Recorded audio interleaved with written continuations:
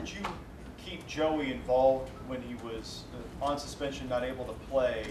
How did you keep him fresh, interested, involved, ready to help the younger guys, and then make that transition to get him ready to play this Well, we really didn't change a lot. I mean, we kept him, kept him practicing, kept him involved through all the inner drills and, of course, in the meetings.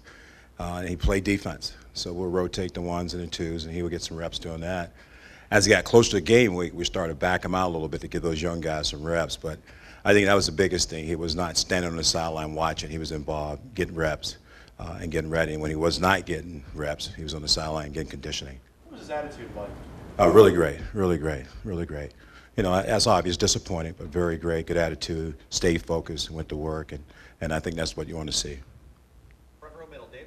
Larry, you guys are rotating a lot of guys up front, uh, specifically at defensive tackle. Um, of the young guys, the backups, who's really pushing? Who's one guy who's really pushing uh, for more playing time? I think Mike Hill is a guy uh, you got to continue to watch. He's starting to do some really great things. He's big, strong, athletic guy inside, and that's what we're looking for in a nose guard.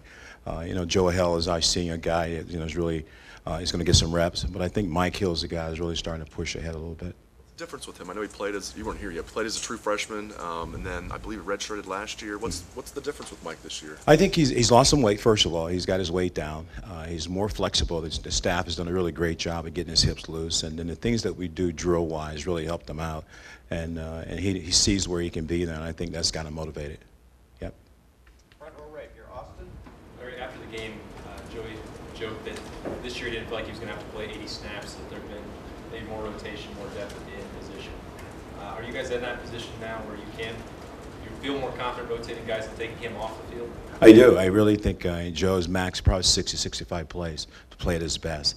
And I think with Jalyn Holm and Sam Hubbard and, and Darius Slade, it gives a chance to really rotate, keep those guys fresh with Tyquan Lewis. Uh, I think that's the way you got to play the game. And I think it gives Joey a chance to be fast all the time.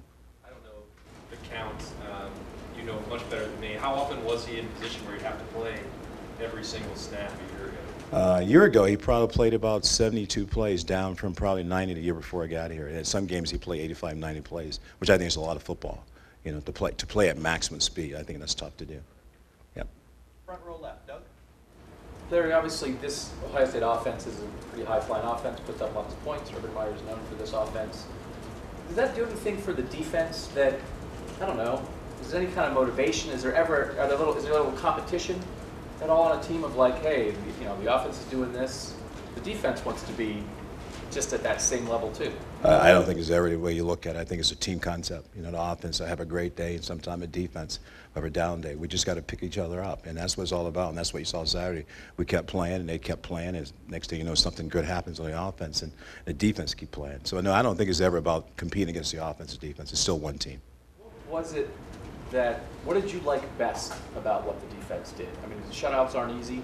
What did you like best about what the defense did? I thought we stayed focused during the course of the game. I think that's the biggest thing. You know, we saw guys on the sideline engaged. When they hit the field, they were engaged, and that's what you want a defense unit to do. And not just not the front four; it's the whole four groups.